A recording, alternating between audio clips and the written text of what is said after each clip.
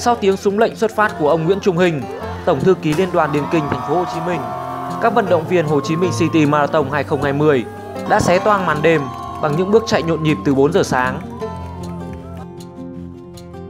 Tại nội dung marathon nữ, huy chương đồng SEA Games 30 Phạm Thị Hồng Lệ bảo vệ thành công chức vô địch Hồ Chí Minh City Marathon 2020 khi cán đích đầu tiên với thời gian 3 tiếng 0 phút 48 giây.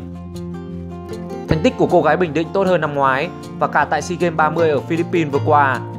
Được biết, đây là danh hiệu thứ hai của Hồng Lệ trong năm mới 2020 khi đăng quang tại Bình Dương 4 ngày trước.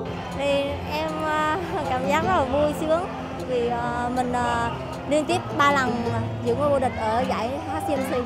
Bởi vì giải này là giải lần đầu tiên em chuyển nội dung sang chuyển nội dung marathon mà lần đầu tiên em tham gia marathon là giải này. Cho nên là em vẫn muốn tham gia giải này bởi vì coi như là nó đánh dấu một cái cột mốc trong cuộc đời em vậy đó là dù thế nào thì em vẫn muốn tham gia giải này.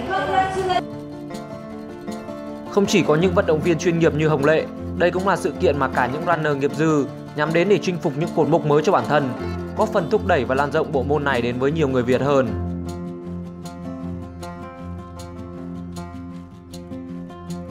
Đối với giải marathon thành phố Hồ Chí Minh lần thứ bảy năm 2020 so với những giải trước thì cái công tác chuẩn bị năm nay, chuẩn bị sớm hơn. Đặc biệt là trong cái công tác về y tế, thì đã chuẩn bị rất là kỹ và cái khâu lộ trình. Cho nên giải năm nay tổ chức thì à, trong suốt quá trình thi đấu à, 6 tiếng đồng hồ, thì cái sự cố về y tế thì không có xảy ra được chỉ một vài trường hợp là do bị vọt bẻ thôi.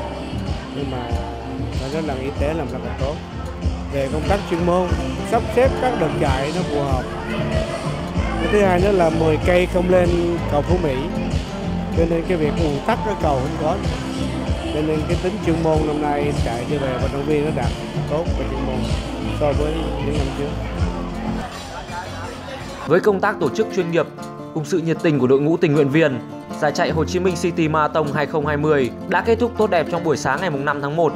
Sự kiện này đã mang lại cho các runner một trải nghiệm tràn đầy năng lượng, đậm chất thể thao, quá lý tưởng để khởi động cho năm đầu tiên của thập kỷ mới.